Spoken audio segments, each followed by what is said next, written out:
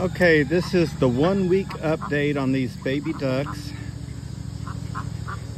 They are growing. There's not quite as many as there was before. Two, four, six, eight, 10, 11. Oh, and there's there's the rest of them. I was about to say, hey, we're even missing more.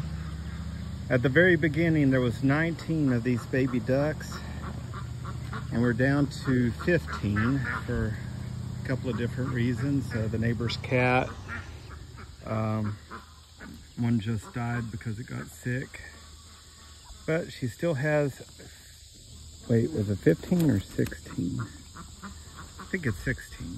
Quick count, four, eight, 12, 16. Yep, 16 baby ducks still left. They are growing. They're growing. Uh, we've been letting them out in the yard and they just love walking around the yard, eating bugs and having fun. And uh, it's funny, whenever they go somewhere, they always want to go the hardest way. there you go.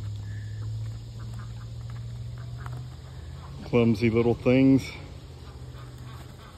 Of course, I guess I'd be clumsy too if I had great big flappy feet and no hands. All right, but that's the uh, the one week update on these guys. They're one week old and they are doing good. And the mom is still proud of proud of those ducks. Uh, our new little puppy tried to say hello this morning and she chased him chased her off.